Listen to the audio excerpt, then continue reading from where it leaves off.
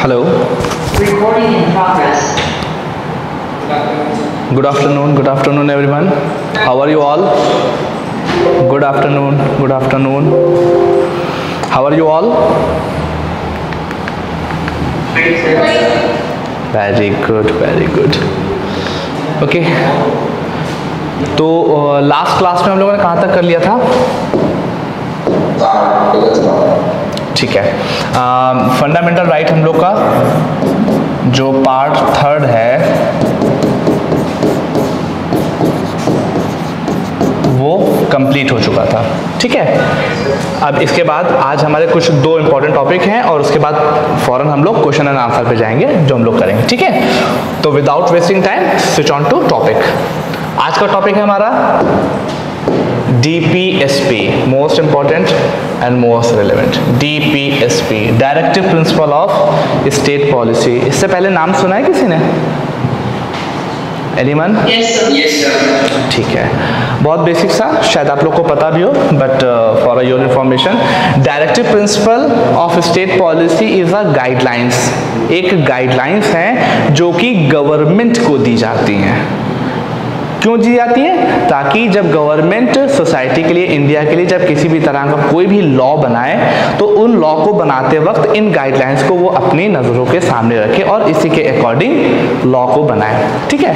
ऐसा नहीं होना चाहिए कि गवर्नमेंट जो अपने मन में आ रहा है, वही लॉ बनाती जा रही है। इन सब बातों को ध्यान में रखते हुए आपको लॉ बनाना है। ठीक है? तो एक इसकी पूरी एग्जॉस्टिव लिस्ट है, वो भी मैं आप लोग को प्रोवाइड करा दूँगा। फ़िलहाल उससे जुड़े हुए कुछ फैक्ट हैं, उसके बारे में हम लोग देख लेते हैं। जैसा कि फंडामेंटल राइट पार्ट फोर में था। इसी तरीके से जो आपका डीपीएसपी है, वो पार्ट फोर में है। नेक्स्ट आर्टिकल इसमें 36 से लेके 51 में इसके बारे में बात की गई है। 36 से लेके 51 तक इसमें कई आर्टिकल हैं जिसके बारे में बात की गई है। ये नॉर्मल सा की पिक्चर है। उसके बाद आपके कुछ बेसिक से फैक्ट हैं डीपीएसपी के बारे में। सबसे पहला फैक्ट कि these are the instruction for the government for making any law और रेगुलेशन फॉर द कंट्री वही जो मैंने अभी आपसे बताया कि कोई भी लॉ एंड रेगुलेशन बनाएँगी तो उसको बनाने से पहले गवर्नमेंट के लिए मैंडेटरी है कि इन गाइडलाइंस को अपनी नज़रों के सामने रखे और इसी के अकॉर्डिंग वो लॉ बनाए। ठीक है? बेसिक सी डेफिनेशन इसकी ये हो जाती है। नेक्स्ट पॉइंट है।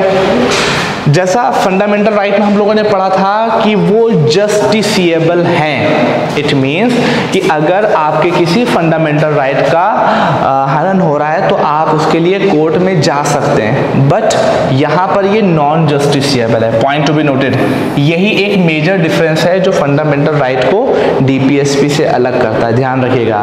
Fundamental right is justiciable but DPSP is not justiciable it means अगर किसी वजह से कोई डीपीएसपी सरकार फॉलो नहीं करती है तो उसके अगेंस्ट में आप कोर्ट नहीं जा सकते।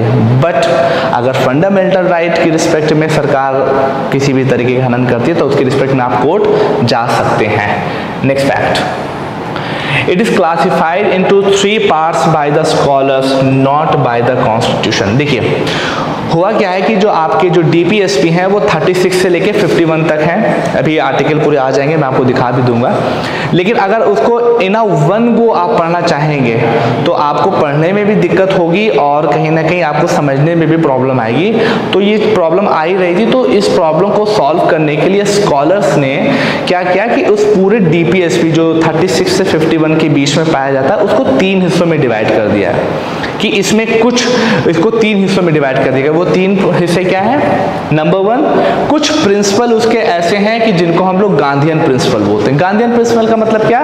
कि कहीं ना कहीं गांधी जी की आइडियोलॉजी से वो सब इंस्पायर्ड थे। इस वजह से कुछ प्रिंसिपल को हम लोग गांधीयन प्रिंसिपल बोलते हैं। नंबर टू कुछ प्रिंसिपल उसमें सोशलिस्टिक प्रिंसिपल कराते हैं मतलब कि जो हमने आप लोगों को बताया था ना कि सोशलिज्म आइडियोलॉजी को बिलोंग करते हैं, समाजवाद की, समाज के रिस्पेक्ट पे जो बात करते हैं। कुछ प्रोविज़न उससे रिलेटेड और तीसरा जो है लास्ट कुछ हैं जो लिबरल एंड इंटेलेक्चुअल है। इसका मतलब क्या? कि टाइम के अकॉर्डिंग समय के हिसाब से चीज़ें चेंज हो रही हैं। उसी के आधार पर कुछ ही पॉइंट होते हैं जिसको हम लोग लिबरल और इंटेलेक्चुअल बोलते हैं। इसको समझने के लिए एक छोटा सा मैं फैक्ट बताऊँगा। जैसे आप लोगों को पता होगा कि आ, इंडिया में जो अलग अलग धर्म हैं उनके यहाँ जो शादी और डाइवोर्स इन सब का जो प्रोसेस होता है वो अलग अलग होता है। जैसे मुस्लिम है उसमें एक प्रोसेस पूरा शरिया कानून वहाँ पर लगता है तो वो लोग उसको अपने तरीके से मानते हैं। हिंदुज़म है उनका प्रोसेस अलग होता है। ईसाई है उनका प्रोसेस अलग होता है। बट कभी कभी क्या होता है कि आ, कुछ चीज़ें हो सकता है कि मुस्लिम्स में दिक्कत वाली हो हो सकता है कुछ हिंदूज में दिक्कत वाली हो, कुछ क्रिश्चियन वाली तो कोई एक ऐसा पैरामीटर जिसमें सभी चीज़ें एक ही तरीके से की जाए, क्या कुछ ऐसा पॉसिबल है? तो समय की, इस टाइम की नीड तो यही है ना कि कुछ ऐसा प्रोसेस होना चाहिए जिसमें शादी एक ही तरीके से हो डाइवर्स का प्रोसेस एक तरीके से और भी चीज़ें एक ही तरीके से हो। तो इस तरह की जो थिंकिंग होती है मतलब कि टाइम के अकॉर्डिंग चीज़ें चेंज करना, वो जो पॉइंट है, वो जो डीपीएसपी है, वो हमारी कहीं ना कहीं लिबरल एंड इंटेलेक्चुअल में आती है। इसका एक सबसे अच्छा एग्ज़ाम्पल होता है आर्टिकल फोर्टी आर्टिकल 44 कहीं ना कहीं यूनिफॉर्म सिविल कोड के बारे में यूनिफॉर्म सिविल कोड क्या है? एक ही तरह का सिविल कोड होगा। मतलब कि जितने भी शादी, ब्याह, ये सब चीज़ें होती हैं, वो एक ही प्रोसीजर से फॉलो करनी चाहिए। तो एट द क्रक्स जो बोलूँ कि जो आपके D P S P thirty six से फिफ्टी वन है, उनको इन अ वन को पढ़ने में आपको दिक्कत हो सकती है। उसको थोड़ा ईजी वे में करने के लिए उसको तीन हिस्सों में हम लोगों ने डिवाइड किया। मतलब स्कॉलर्स ने। पहले कुछ प्रिंसिपल हैं जो गांधी जी से रिलेटेड है मतलब कि गांधी जी की आइडियोलॉजी से रिलेटेड रिलेटेड है कुछ प्रिंसिपल सोशलिस्टिक प्रिंसिपल होते हैं और कुछ प्रिंसिपल लिबरल एंड इंटेलेक्चुअल होते हैं। इसमें ज़्यादा हाँ बताएँ। Sorry come again speak loudly chat disable okay okay okay okay okay wait a while wait a while wait a while Don't worry, we have to carry on. Uh, administration is taking this responsibility. Okay, next. और again ये जो principal है DPSP ये हमने कहाँ से बोरो किया है ये हमने आयरिश कॉन्स्टिट्यूशन मतलब कि आयरलैंड से इसको हमने बोरो किया था these are just basic fairs facts which is related to DPSP it is more than sufficient ठीक है, ज़्यादा इसके इंटरनल डेप्थ में नहीं जाना। पहला फैक्ट कि ये एग्जैक्टली exactly होते क्या है? दूसरा फैक्ट ये नॉन जस्टिशियबल है। तीसरा फैक्ट आपको बता चुका हूँ part four article thirty six fifty one में आते हैं और इनको क्लासीफाई करने के लिए हमने तीन स्टेप का सहारा लिया था। और हमने ये कहाँ से ऑप्ट किया है? आयरलैंड से ऑप्ट किया है। ठीक है?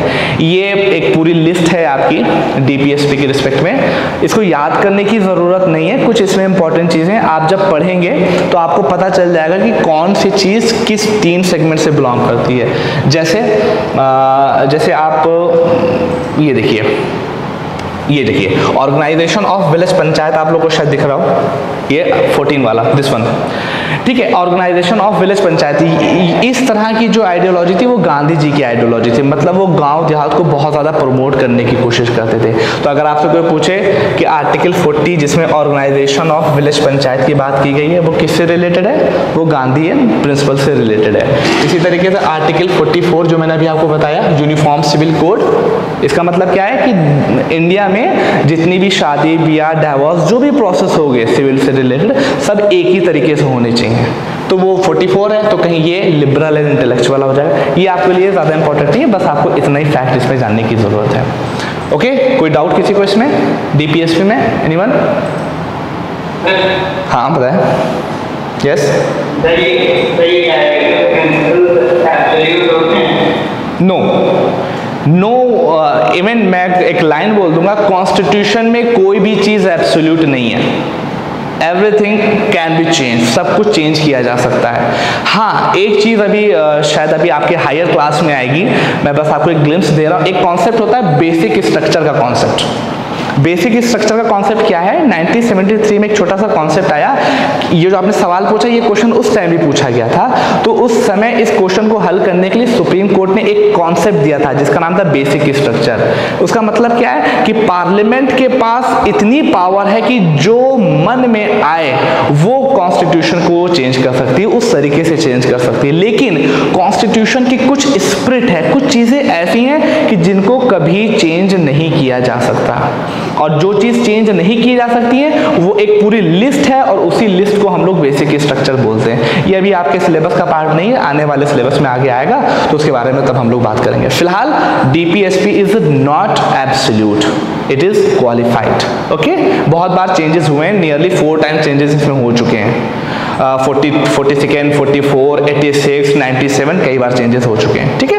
फ़िलहाल अभी आप लोग के लिए इतना जानना बहुत इंपॉर्टेंट है मोर देन सफिशियंट है। Okay move on to next topic next next topic is fundamental duties fundamental duties बहुत बेसिक से फैक्ट हैं, बहुत इजी वे में समझ लेंगे। जैसा मैंने आप लोग को बताया था कि कोई भी सोसाइटी तभी अच्छे तरीके से रन कर सकती है जब किसी को राइट्स तो दिए जाएँ बट उसके साथ साथ, उसके साथ कुछ रिस्पॉन्सिबिलिटीज़ को भी ऐड कर दिया जाए। अगर हम सिर्फ़ राइट दे देंगे तो आदमी एकदम अजीब से हो जाते हैं कि हमें तो सब फ़ायदे मिल ही रहे हैं। भाई, आपकी कुछ ज़िम्मेदारी भी है। जब कॉन्स्टिट्यूशन बन रहा था, तब ये चीज़ इंक्लूड नहीं की गई थी। पॉइंट टू बी नोटेड बहुत इंपॉर्टेंट फैक्ट है कि जब आपका कॉन्स्टिट्यूशन बन रहा था तो हम जब कॉन्स्टिट्यूशन बना रहे थे तो हमने फंडामेंटल राइट तो दिया था बट फंडामेंटल ड्यूटीज़ नहीं दी थी। अब क्या हुआ? कौन सा अभी अभी सब आएगा। अभी सब आएगा। इसके बाद वही फैक्ट आने वाला है कि किस कॉन्स्टिट्यूशन अमेंडमेंट के ज़रिए से ये आई थी। अभी सब आएगा। इसके बाद वही सब स्लाइड्स हैं। मीन टू से ये है कि जब आपका कॉन्स्टिट्यूशन बनाया गया देन सिर्फ़ और सिर्फ़ आपको फंडामेंटल राइट दिए गए थे। फंडामेंटल ड्यूटीज़ के बारे में कोई बात नहीं की गई थी। ठीक है? थोड़ा सा आगे बढ़ते हैं। 1974 75 76 जब आया, जब इमरजेंसी लगी इंडिया में। इमरजेंसी लगी थी मैडम इंदिरा गांधी के टाइम पे। तो क्या हुआ कि लोगों ने बहुत ज़्यादा दिक्कतें की, बहुत ज़्यादा बवाल ववाल भी हुआ था उसमें। उस समय मैडम ने एक पर्सन थे जिनका नाम था स्वर्ण सिंह। बहुत बेसिक सा फैक्ट है। स्वर्ण सिंह साहब थे, इनको बुलाया और कहा कि आप एक कमेटी बनाइए, कुछ मेंबर्स की कमेटी बनाइए और देखिए कि किस वजह से लोगों ने इमरजेंसी में इतना ज़्यादा प्रॉब्लम क्रिएट की है। क्या उनकी कुछ रिस्पॉन्सिबिलिटी भी फिक्स होनी चाहिए? तो फिर स्वर्ण सिंह गए उन्होंने पूरी कमेटी बनाई और खुद खुद जाँच पड़ताल की और जाँच पड़ताल करने के बाद उन्हीं ने रिकमेंडेशन दी। किसने दी? स्वर्ण सिंह कमेटी ने रिकमेंडेशन दी कि इंडिया में फंडामेंटल राइट हैं सिर्फ़ और सिर्फ़। यहाँ पर उनकी कुछ रिस्पॉन्सिबिलिटी भी हमको फिक्स करनी पड़ेगी। देन इन्हीं की रिस्पॉन्सिब इन्हीं की रिकमेंडेशन के बाद, स्वर्ण सिंह कमेटी की रिकमेंडेशन के बाद इंडियन कॉन्स्टिट्यूशन में with forty second constitutional amendment 1976 Indian constitution में डीपी फंडामेंटल ड्यूटीज़ को ऐड किया गया। इज़ दैट क्लियर बहुत बेसिक सा फंडामेंटल ड्यूटीज़ इनिशियली नहीं थी। 1974, 75, 76 जब मैडम इंदिरा गांधी का दौर चल रहा था तब इमरजेंसी लगाई गई थी। अब इमरजेंसी क्या है? इसके बारे में कभी बाद में बात करेंगे। अभी आपके टॉपिक नहीं है। तो इमरजेंसी के टाइम पे लोगों ने बहुत ज़्यादा दिक्कतें क्रिएट की। हुआ ही था प्रॉब्लम हुई थी। इमरजेंसी गलत तरीके से लगाई गई थी। तो उस समय क्या हुआ? फिर मैडम ने सोचा कि ये तो बहुत प्रॉब्लम क्रिएट करे। तो उन्होंने एक पर्सन जिनका नाम था स्वर्ण सिंह उनको बुलाया और कहा कि आप एक कमेटी बनाइए और कमेटी बनाने के बाद, आप मुझे बताइए कि इस प्रॉब्लम का सोल्यूशन क्या है? तो उन्होंने बोला कि इंडिया में सिर्फ़ और सिर्फ़ फंडामेंटल राइट दिए गए ड्यूटीज़ यहाँ पर नहीं डिफाइन की गई है। अब ज़िम्मेदारी या अब नीड ये है कि लोगों की कुछ रिस्पॉन्सिबिलिटी भी इंश्योर की जाए। देन क्या हुआ? Madam Indira Gandhi forty second constitutional amendment जो कि 1976 में पब्लिश किया गया था, उसके ज़रिए से इंडियन कॉन्स्टिट्यूशन में फंडामेंटल ड्यूटीज़ ऐड की गई। क्लियर बहुत बेसिक सा है। ठीक है फंडामेंटल ड्यूटीज़ ऐड की गई थी। अब किस तरीके से ज़ाहिर सी बात है कॉन्स्टिट्यूशनल अमेंडमेंट हुआ है तो हम लोग, इसके अंदर किस पार्ट में इसको किया गया? Part four A part four A आपको पता ही है पार्ट थर्ड किस चीज़ से रिलेटेड है? फंडामेंटल राइट से रिलेटेड है, ठीक है। पार्ट फोर किससे रिलेटेड है? Directive principle of state policy अब चूँकि ये अमेंड करके लाया गया, मैंने उस दिन बताया था, जब कभी भी इस तरीके का ए वे लगा हो आगे किसी आर्टिकल के, किसी पार्ट के आगे तो वो अमेंड करके लाई गई है तो क्या हुआ? हमने पार्ट फोर ए ऐड किया, जिसके ज़रिए हमने फंडामेंटल ड्यूटीज़ इसमें ऐड कर दी बहुत सिंपल सा तो फंडामेंटल ड्यूटीज़ किसमें है? पार्ट फोर ए में है।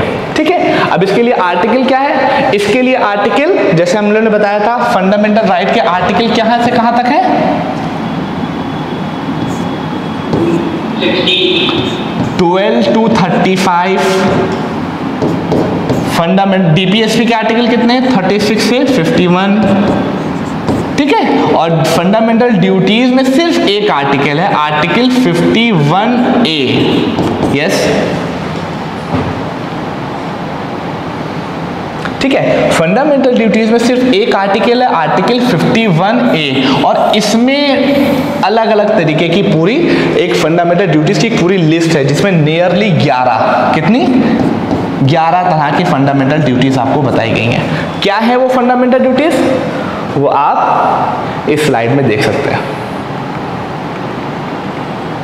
This is your fundamental duty ये आपकी फंडामेंटल ड्यूटीज़ है कि इसे टू अबाइड मतलब कॉन्स्टिट्यूशन की रिस्पेक्ट करना आपकी ज़िम्मेदारी है। इसी तरीके से पूरी to cherish and follow the noble ideas and inspired our national struggle for the freedom to uphold and protect the sovereignty unity and integrity इसी तरीके से 11 गाइडलाइंस है जो फंडामेंटल ड्यूटीज़ हैं आपकी वो डिफाइन की गई हैं। ठीक है? बहुत बेसिक सा फैक्ट है। समराइज करते हुए अभी चीज़ों को देख लेंगे। बैक चलते हैं। अब फंडामेंटल ड्यूटीज़ से रिलेटेड कुछ फैक्ट हैं जो कि मैंने आपको वर्बल वे में बता दिए हैं। सिर्फ़ एक बार आप पढ़ भी सकते हैं कि इनिशियली कॉन्स्टिट्यूशन में फंडामेंटल राइट्स से सिर्फ़ फंडामेंटल ड्यूटीज़ नहीं थी, ये भी मैं बता चुका हूँ। देन लेटर 1976 में with the help of forty second constitutional amendment it was incorporated on the recommendation of Swaran Singh committee सब बता चुका हूँ। नेक्स्ट वी इंस्पायर्ड अच्छा हम लोग इसके लिए इंस्पायर्ड कहाँ से थे? जो अर्स्ट वाइल यूएसएसआर था। ये जानते हैं आप लोग व्हाट इज़ यूएसएसआर ठीक है कोल्ड वॉर से ठीक है ठीक है तो उससे पहले वहाँ पर सबसे पहले फंडामेंटल ड्यूटीज़ के बारे में बात हुई थी तो हम लोग वहीं से इंस्पायर थे। तो एज अ क्रेप्स मैं बस बोलना चाहता हूँ फंडामेंटल ड्यूटीज़ इनिशियली कॉन्स्टिट्यूशन में नहीं थी। 1976 में फोर्टी सेकेंड कॉन्स्टिट्यूशनल अमेंडमेंट के ज़रिए से फंडामेंटल ड्यूटीज़ को ऐड किया गया है। ये पार्ट फोर ए में पाई जाती है और आर्टिकल 51 ए में सिर्फ़ एक आर्टिकल इससे रिलेटेड है। और इसी एक आर्टिकल में नियरली 11 तरीके की फंडामेंटल दस से ग्यारह तरीके की फंडामेंटल ड्यूटीज़ आपकी डिफाइन की गई हैं। फंडामेंटल ग्यारह ड्यूटीज़ क्या है? ये आपको मैंने बताया, आप लोग को ये पीडीएफ दे दी जाएगी तो इसमें से आप लोग चीज़ें क्लियर कर लेंगे। ठीक है, ये ग्यारह तरीके की याद करने की ज़रूरत तो है because being Indian citizen responsibility तो आपकी है कि आपको ये सब चीज़ें पता होनी चाहिए और इसको फॉलो भी करना चाहिए। पढ़िएगा रियल में आपको अच्छा फील आएगा बींग एज एन इंडियन ठीक है, इसको पढ़िएगा ज़रूर और इसको ध्यान रखिए, हर चीज़ के अकॉर्डिंग किया भी करिए। ठीक है? देन ये हो गया आपका पहला टॉपिक अब बात आती है नेक्स्ट फोकस हो जाता है अब हम लोग का।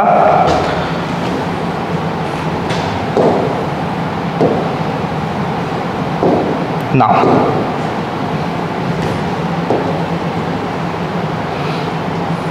हम्म नेक्स्ट अब जो भी हम लोगों ने पढ़ा है अब उसके ऊपर क्वेश्चन आंसर का सेशन हो गया है। अब आप लोग की बारी है अब आप लोग बोलना स्टार्ट करिए ठीक है? एक एक करके क्वेश्चन देखेंगे नियरली फोर्टी क्वेश्चन है जो हमको करने हैं ठीक है? क्वेश्चन नंबर वन क्वेश्चन पढ़िए एंड देन इसका आंसर देने की कोशिश करिए।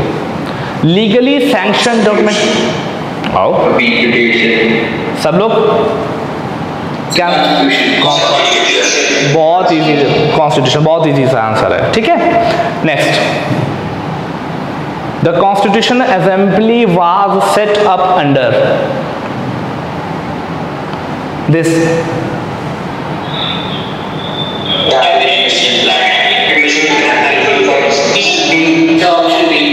option B Cripps mission क्यों नहीं है?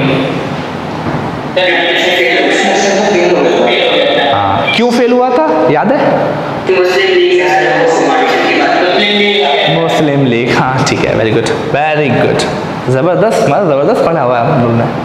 Next who are the chairman of the drafting committee of the Indian constitution my god too easy question who was elected as a permanent president of the constitution मस्त top मारेंगे आप लोग लग रहा है। Very good amazing how many committee were form for the constitution अब यहाँ पे यहाँ पे यहाँ पे मैं थोड़ा सा एक एक्सटर्नल फैक्ट आप लोग को बताना चाहूँगा। आंसर आप लोग का थर्टीन है एज पर योर सिलेबस के अकॉर्डिंग आपके थर्टीन आंसर है। बट यहाँ पे एक चीज़ मैं बताना चाहूँगा।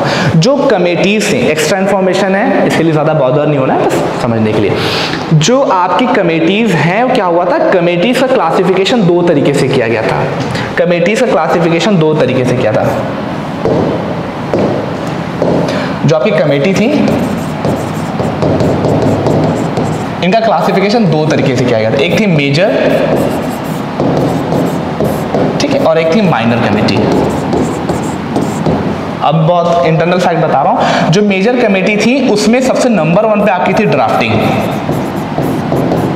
जिसके बारे में हम लोगों ने काफ़ी कुछ पढ़ा है। ड्राफ्टिंग कमेटी इसी तरीके से जो मैंने कुछ कमेटीज आपको और बताई थी, जैसे central provincial committee central constitutional committee तो इस तरीके की कई कमेटी सात या आठ कमेटी मेजर कमेटी में आती थी। बट माइनर कमेटी में बहुत एग्जॉस्टिव लिस्ट थी। सिर्फ़ तेरह कमेटीज नहीं थी but as per your syllabus and your information कहीं ना कहीं जो कमेटीज हैं, जो मेजर बड़ी बड़ी कमेटीज थी, आपके सिलेबस के अकॉर्डिंग वो थर्टीन थी। लेकिन अगर आप जब इंटरनल डेफ में और आगे इसके बारे में पढ़ाई करेंगे, तब आपको पता चलेगा कमेटीज मात्र तेरह नहीं थी। उनका क्लासिफिकेशन मेजर और माइनर में किया गया था। उसके अकॉर्डिंग काफ़ी कमेटीज इसमें थी, जिसको हमने मेजर में सात या आठ आती थी, उसके साथ साथ माइनर में कई कमेटियाँ थी। अभी इतना जाने की ज़रूरत नहीं मैं बस एक फैक्ट के रूप में आप लोग को बता रहा हूँ। ठीक है? नेक्स्ट कहाँ तक हो गया था हम लोग का? How many committees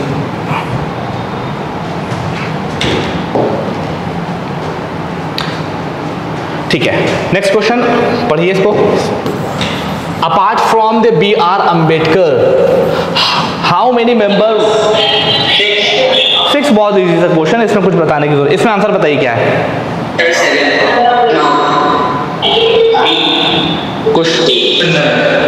None of none of the above because total member कितने थे? सात थे। एक डॉक्टर राजेंद्र, वो भीमराव अंबेडकर साहब, उनके अलावा कितने बचे? छह बचे।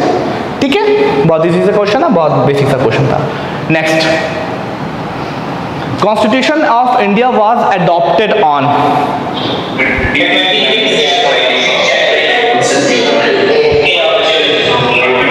basic सा क्वेश्चन है। अभी क्वेश्चन थोड़े से एक दो मैंने अपने पास से ट्रिकी बनाया, देखते हैं इसको। नेक्स्ट क्वेश्चन अब बताइए।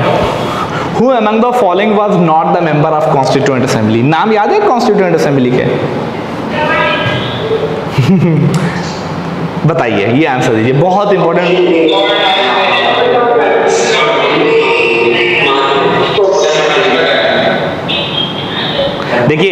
यहाँ पर यहाँ पर जो ये क्वेश्चन है, इसके कहीं ना कहीं बाय डिफ़ॉल्ट ये यहाँ पर मैं थोड़ी इन्फॉर्मेशन आप लोगों के लिए चेक कर रहा हूँ। इस क्वेश्चन में एक आंसर होगा या एक से ज़्यादा आंसर हो सकते हैं? देखिए, मैं मैं बता रहा देखिए देखिए देखिए देखिए। नहीं नहीं. कॉन्स्टिट्यूएंट असेंबली की खास बात यही यही थी कि उसमें कोई फॉरेनर नहीं था.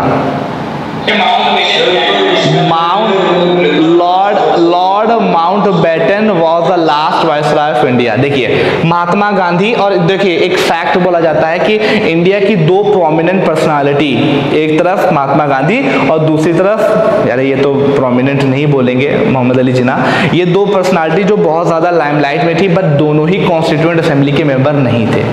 इसी के आधार पर यह क्वेश्चन बनाया गया है but by default Lord Mountbatten was also not the member of constituent assembly तो इसका answer A and B D दोनों होगा। ठीक है? फ़िलहाल इसमें बाय डिफ़ॉल्ट आंसर ए लिखा हुआ है। ये बाय मिस्टेक है। Next first meeting of Mahatma Gandhi constituent assembly के मेंबर नहीं थे। हाँ speak loudly and properly I am not हाँ भाई इसका तो बहुत बेसिक सा आंसर है। First meeting of constitute ninth एक मिनट एक एक मिनट एक मिनट ऑप्शन बताइएगा ए बी सी या डी अब बताइए। सिंपल बहुत बेसिक सा है C answer next answer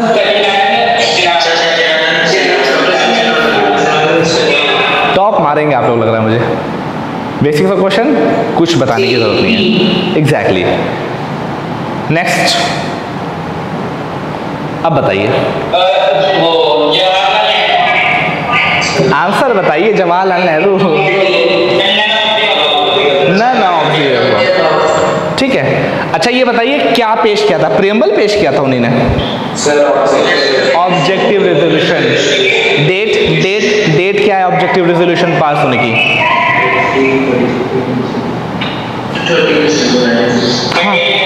Thirteen of December 1946 next C Rajagopalachari अरे भाई इंडिया जब इंडिया आज़ाद हो गया तो उसके बाद इंडिया के जो पहले वायस राय बने थे Indians viceroy C Rajagopalachari थे। बहुत प्रोमिनेंट पर्सनालिटी हैं।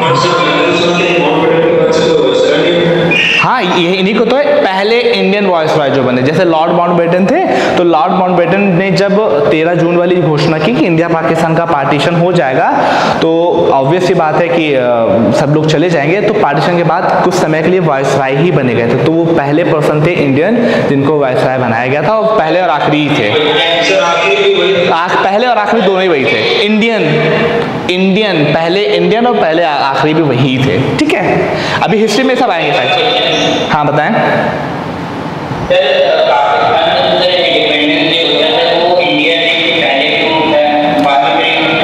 तो ये तो उनके ये ये उस समय की, ये उस समय की सर्कमस्टांसेस पे डिपेंड करता है। एक्चुअली क्या हुआ था कि उस समय की सर्कमस्टांसेस पे डिपेंड करता है कि उन्होंने पहले बना लिया, हम लोगों ने उसका अगले दिन बनाया था। कोई इसके पीछे खास रीजन नहीं कि पहले ही क्यों होता है। नो एनी वो इशू अब वो अब वो, अब मोहम्मद अली जिन्ना से पूछा जाएगा कि भाई क्या इशू थे? मोहम्मद अली जिन्ना बहुत ध्यान से भैया पार्टीशन पार्टीशन हो गया भाई उनके लिए। Next the demand of the constitute assembly firstly raise in the year of अब इसका आंसर दीजिए।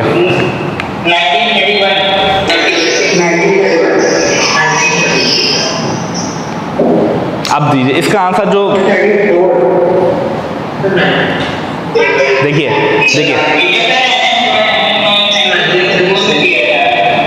देखिए देखिए देखिए अब यहाँ देखिए मैं लिप कंप्लीट देखिए होता क्या है कि ऑप्शन को देखने के बाद हमारे अंदर इतना जब हमारे में डोपामिन इतना रिलीज़ होता है माइंड में ब्रेन में हमारे कि हमारा कहता है ये आंसर मुझे तो पता है इसका आंसर लेकिन हमको बहुत पेशेंस के तरीके से क्वेश्चन पहले पढ़ना है और क्वेश्चन में आंसर क्या दिया गया उसके अकॉर्डिंग चलना है। क्वेश्चन में 1934 दिया ही नहीं गया है। Then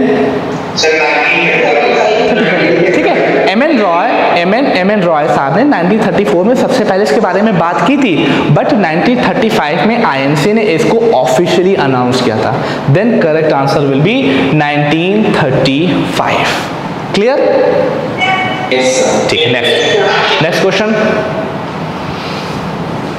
अब बताइए initially how many member were in the constituent assembly basic सा क्वेश्चन बेसिक बेसिक सा क्वेश्चन है। है next abolition of untouchability lies in which article क्या नाम है आपका? सिंह। गुड वेरी गुड सही जा रहे हैं, बहुत बेहतरीन। वेरी गुड अच्छा कर रहे हैं मतलब बहुत ही अच्छा कर रहे हैं। Next amongst all 389 members how many member were representative from British Indian state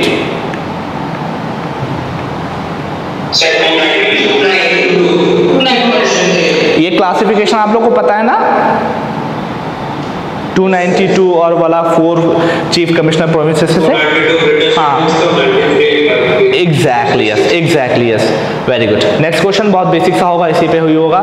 How many member were from the chief commissioner provinces four too simple too simple too simple too simple next B. Mm. B? B. Very good. Next. Who was the who was the viceroy of India when India became free?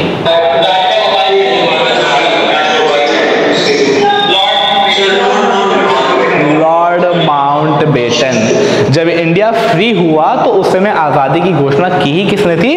Lord Mountbatten ने। ठीक है? Lord Mountbatten too intellectual person मतलब कि ही is amazing guy अगर बोला जाता था वो पर्सन ना होता तो शायद और भी बवाला चल रहा होता, क्योंकि उन्होंने इतने अच्छे तरीके से इंडिया पाकिस्तान का जो पार्टीशन था थ्री ऑफ़ जून 1947 में सब प्रोसेस हुआ। मतलब टू इंटेलेक्चुअल पर्सन बहरहाल come to the point Lord Mountbatten is the correct answer next After partition of Pakistan, the member of Constituent Assembly decreased from 389 to ये fact है। शायद आप लोग ने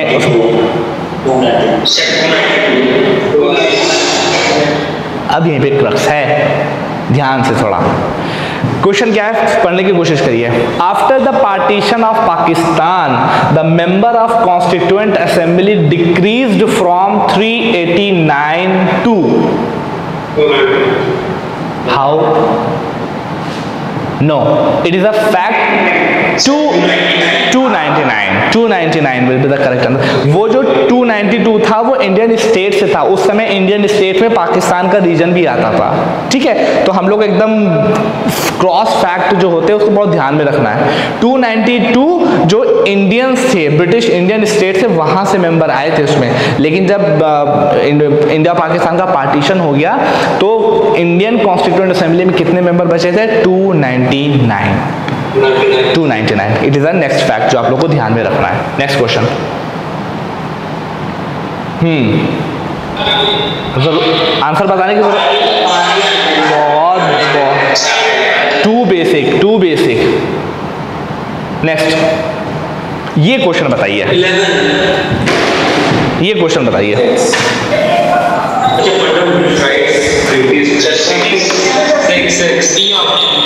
अब देखिए, अभी अभी हमने आप लोगों को कुछ पढ़ाया है।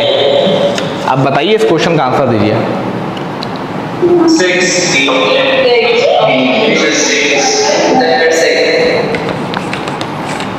चलिए बताएँ आंसर इसका seven if seven then why if six then why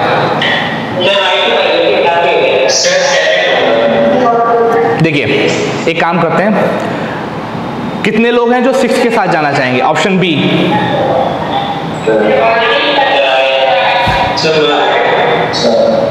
देखिए, बहुत फैक्ट है।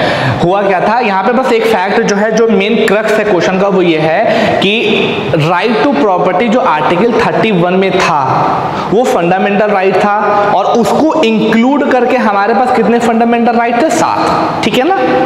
अब राइट टू प्रॉपर्टी हमारा हटाया कब गया है?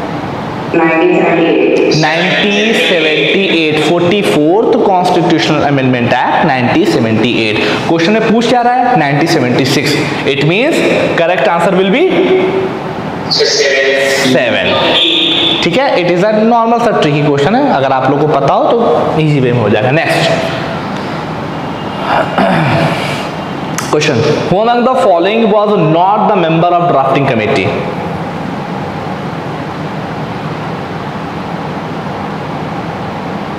ये तीनों थे?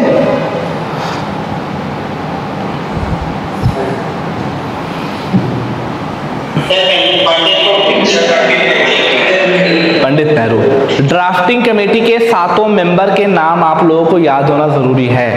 इट इज़ मैंडेटरी बिकॉज़ आप अगर वो सातों नाम याद रख लेंगे ना तो बहुत सी चीज़ें अपने आप क्लियर हो जाएँगे।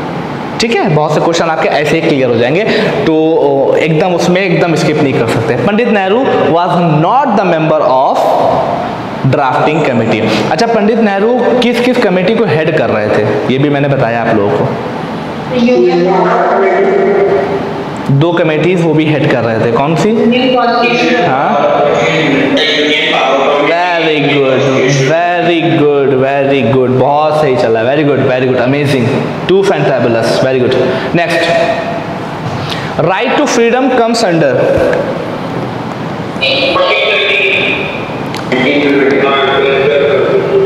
fourteen to अच्छा।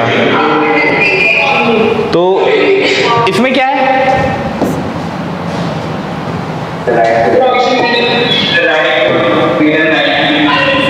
इसमें है इक्वालिटी 19 टू 22 कौन सा? हाँ right against exploitation 23 and 24 29 and 30 29 and 30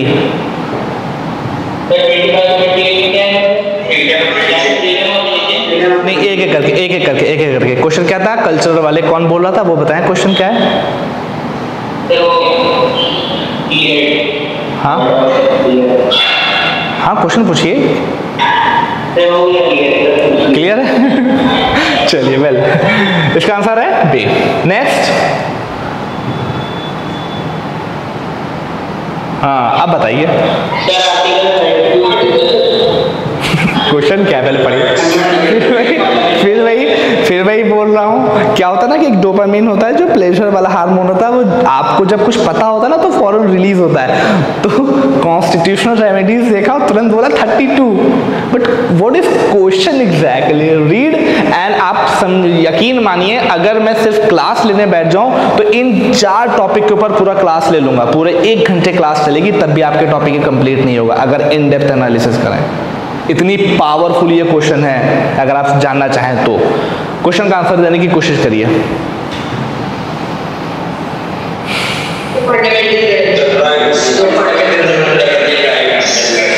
Fundamental right clear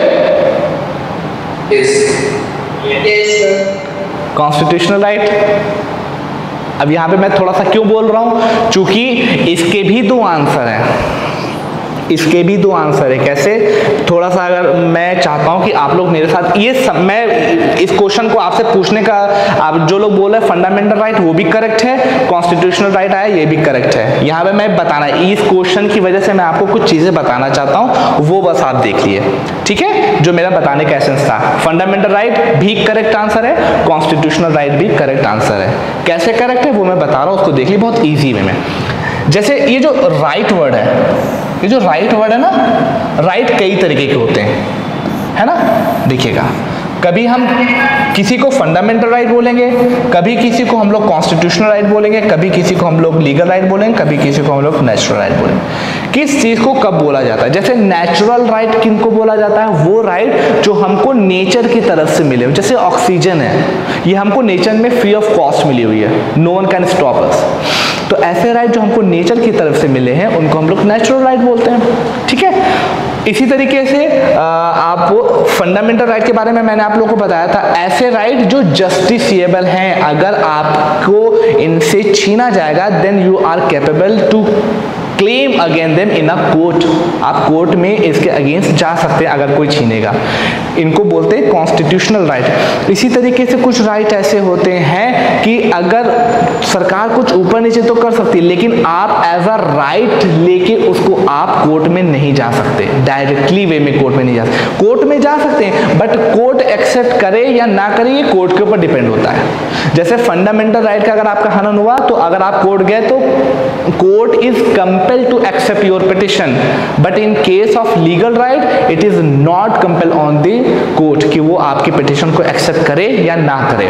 तो लीगल राइट वो राइट होते हैं कि आप इनके लिए कोर्ट तो जा सकते हैं बट कोर्ट उसको एक्सेप्ट करे या ना करे, ये उसके ऊपर डिपेंडेड है। बट फंडामेंटल राइट चूँकि आपको फंडामेंटली मिले कॉन्स्टिट्यूशनल से बैकिंग है तो आप उनको जाएँगे तो court is compel to accept your petition ठीक है? तो ये दो डिफरेंस होता है फंडामेंटल राइट right में और लीगल राइट right में। फंडामेंटल राइट और लीगल राइट दोनों पाए कहाँ जाते हैं? फंडामेंटल राइट तो हमारे कॉन्स्टिट्यूशन में ही पाया जाता है, ये बात पता ही है है ना? लीगल कुछ लीगल राइट भी होते हैं जो हमारे कॉन्स्टिट्यूशन में ही पाए जाते हैं। जैसे, एक एग्ज़ाम्पल आप लोग को याद होगा, मैंने बताया था, जो आर्टिकल थर्टी हाँ है ना? थर्टी कहाँ चला गया था? थ्री हंड्रेड ए में। आर्टिकल 31 क्या था? फंडामेंटल राइट था।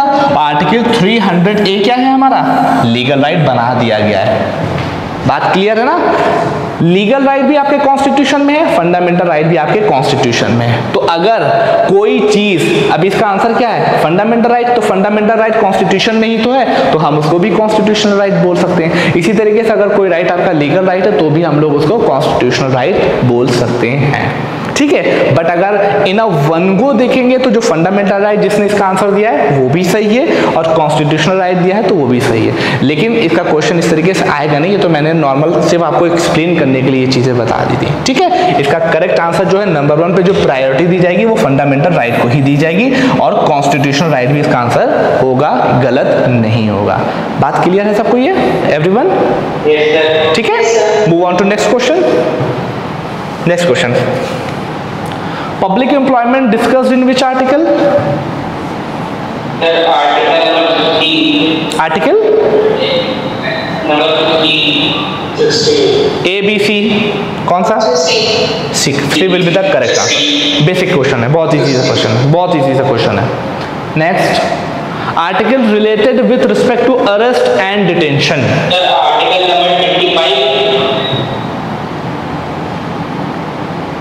अब बताइए.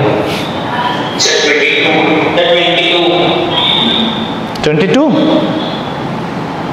चलिए एक क्वेश्चन का जवाब दीजिए। चलिए वो बताइएगा। आर्टिकल 20 और आर्टिकल 22 एग्जैक्टली है क्या?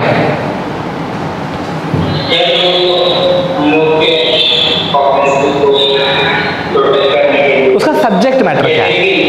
उसका सब्जेक्ट मैटर क्या मतलब आर्टिकल में लिखा क्या है? मैंने आपको कुछ दी थी ना पीडीएफ उसमें लिखा क्या है? आर्टिकल 20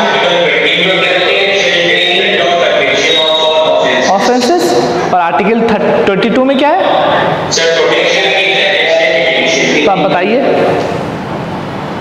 अब बताइए क्या होगा? अरेस्ट एंड डिटेंशन क्या हो जाएगा?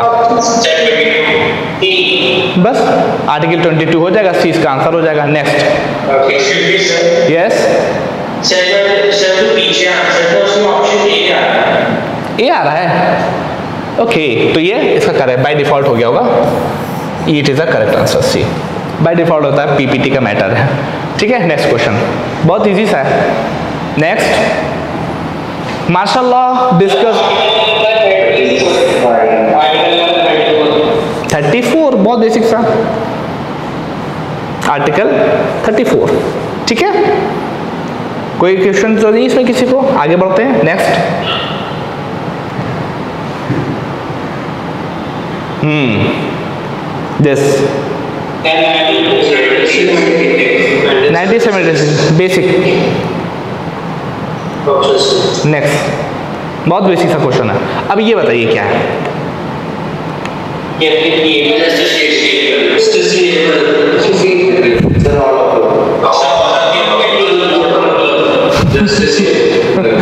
अगेन अगेन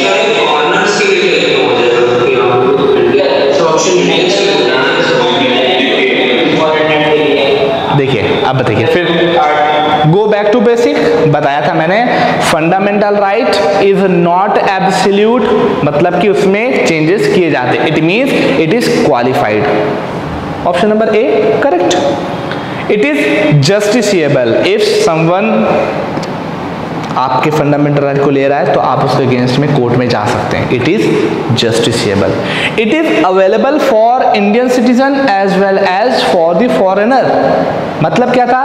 दोनों को अवेलेबल है। बट कुछ केसेस ऐसे हैं जहाँ पर ये सिर्फ़ और सिर्फ़ किसको अवेलेबल है? इंडियंस को अवेलेबल है। उनके आर्टिकल भी मैंने आपको बताए थे। आपको याद होगा? आर्टिकल 15 16 19 29 एंड 30 ये कुछ पर्टिकुलर आर्टिकल है जो सिर्फ़ और सिर्फ़ इंडियंस को अवेलेबल है बाकी सारे फंडामेंटल राइट आपके फॉरेनर को भी अवेलेबल है। तो हाँ it means for this question all of the above will the correct answer नहीं फंडामेंटल राइट क्या है कि किस क्या बोला जाता है फंडामेंटल राइट की बेसिक डेफिनेशन क्या है? कि for a overall development of any individual fundamental right is necessary ठीक है? Overall development of any individual की बात हुई है एनी सिटीजन ऑफ़ इंडिया की बात नहीं हुई है। अब आप सोचिए, खुद सोचिए कि अगर यहाँ पर कोई पर्सन यहाँ पे पढ़ने के लिए आ रहा है किसी दूसरे देश से तो क्या हम उसको फंडामेंटल राइट right नहीं देंगे? उसको राइट टू प्राइवेसी को हम नहीं देंगे? क्या उसकी प्राइवेसी को हम हनन कर लेंगे? उसको राइट टू इक्वालिटी नहीं देंगे? ऑब्वियसली उसको हम पढ़े सब कुछ। तो फंडामेंटल राइट इंडिविजुअल के लिए है not specifically only for the citizen of India Got it my point? Move on to next. Move on to next topic. Next question. हाँ ये बताइए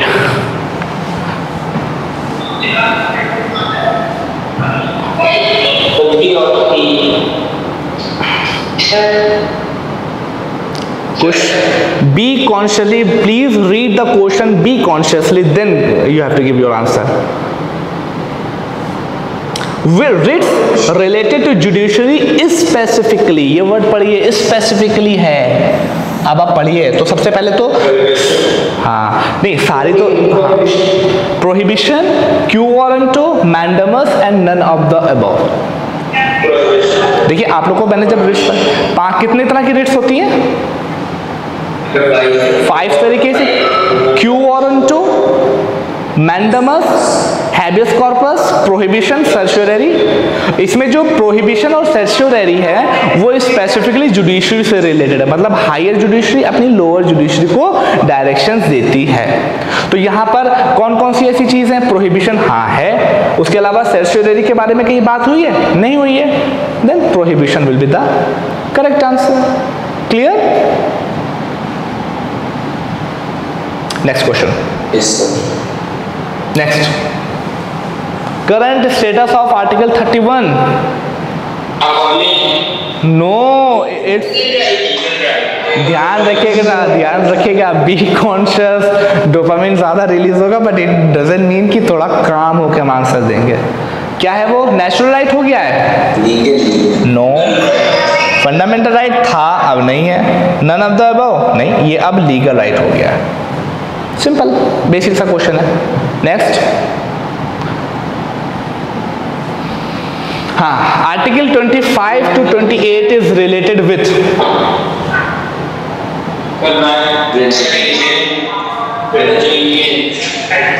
religion religion basic concept religion ठीक है? Religion sorry fundamental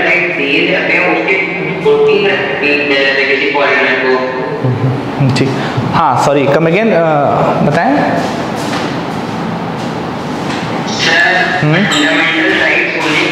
right voting right तो right to देखिए right to अब देखिए यहाँ पे चीज़ें कई कॉन्सेप्ट आ सकते हैं।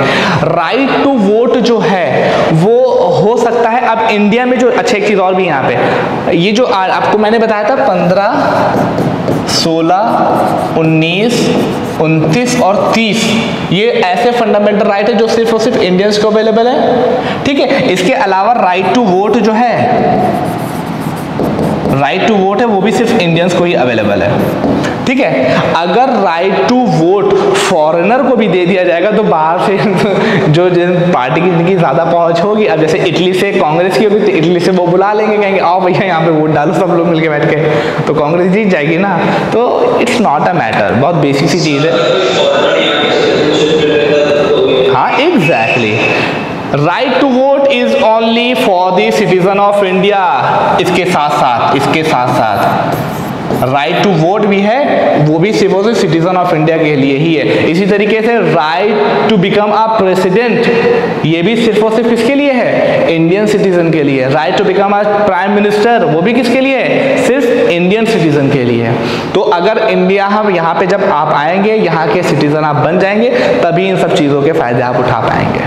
अन्यथा नहीं उठा पाएँगे। ठीक है? थोड़ा सा अभी आगे और पढ़िए, अभी आगे इसकी डेप्थ है। अभी डेप्थ आप जब इसकी पढ़ेंगे तब आपको एक अलग फील आएगा। Well next question right to life and personal liberty comes under article right to life and article 21 article 21 अच्छा ये बताइए, कोई मोबाइल मोबाइल खोल के तो नहीं बैठा है? सब क्लियरली ऑप्शन दे रहे ना? आज चीट नहीं होना चाहिए चीट नहीं नहीं चीट नहीं होना चाहिए, क्योंकि अपने से लॉयल रहना बहुत ज़्यादा इंपॉर्टेंट है। Honesty is the best policy okay be loyal with yourself article 21 बहुत बेसिक सा क्वेश्चन है। Next hmm too amazing question article 51 is related DPS पे sure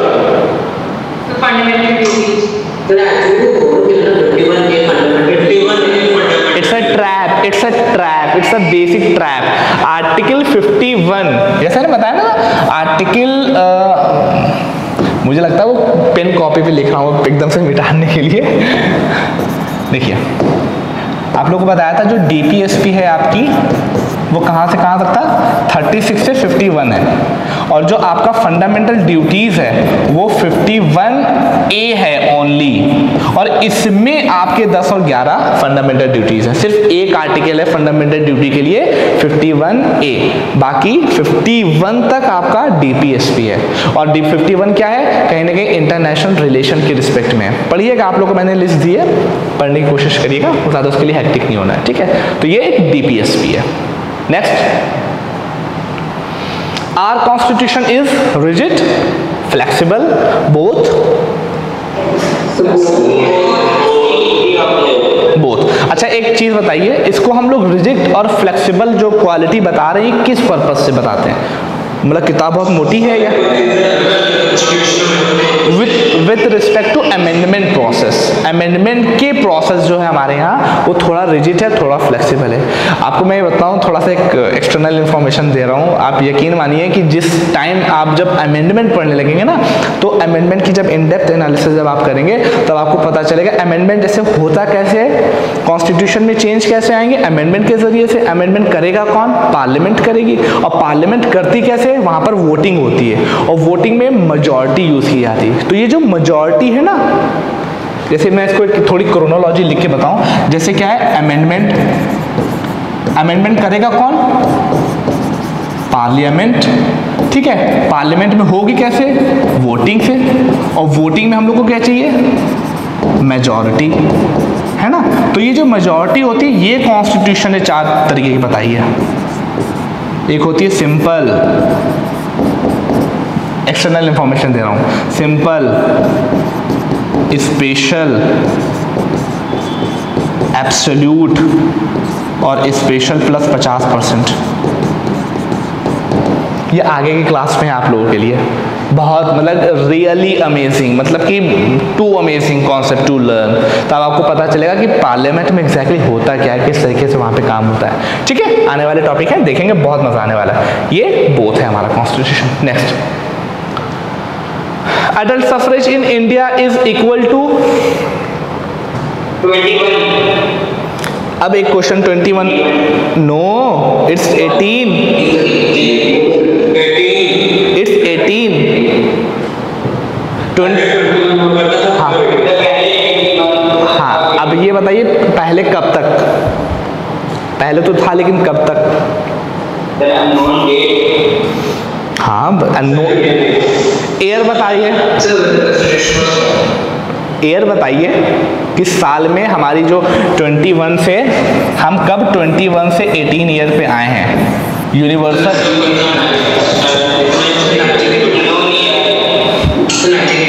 1989 बेसिक टू इजी पढ़ाया तो ज़रूर हो जाएगा। ठीक है next currently which portion of the constitution is just like objective resolution?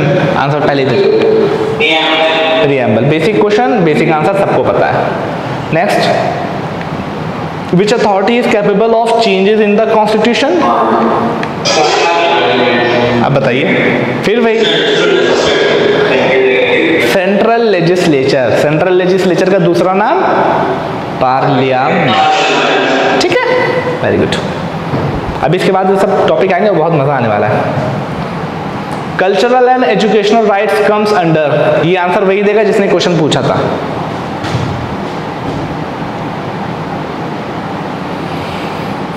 बताइए। B this one twenty C twenty nine two thirty twenty nine and thirty ठीक है कल्चरल एंड एजुकेशनल राइट है ना? सबको पता है? 29 में क्या था? कुछ ऐसी माइनॉरिटीज जिनकी अपनी स्क्रिप्ट अपनी लैंग्वेज और अपना कोई कल्चर हो और वो माइनॉरिटी में आती हो मतलब कम अनुपात में हो तो उनको राइट्स दिए गए ताकि वो उसको प्रिजर्व कर सकें। आर्टिकल 30 में क्या है कि जो माइनॉरिटीज हैं, वो लोग अपने एजुकेशनल इंस्टीट्यूशन को खोल सकते हैं। Next right to equality contain how many articles right to तुक्का मत मारिए। डोंट पुश अना रो इन 14 से 18 काउंट करिए 14 15 16 17 18 is that too simple basic how many five next and last question Swan committee is related to? Fundamental fundamental duties. ठीक है? Basic okay तो now complete it's complete अब आपका नया topic start होगा it might be a geography जो भी administration आपको देता है वो चीज़ें रहेंगी। फ़िलहाल इसको अच्छे से पढ़िए इन क्वेश्चन को भी रिवाइज करिएगा इनकी भी कोशिश करूँगा तो पीपीटी आप पीडीएफ आप लोग को अवेलेबल करवा दी जाएगी। Okay thank you class see you in next class okay message.